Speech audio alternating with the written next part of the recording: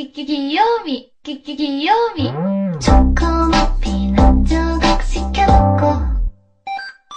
고소한 우유 한 잔을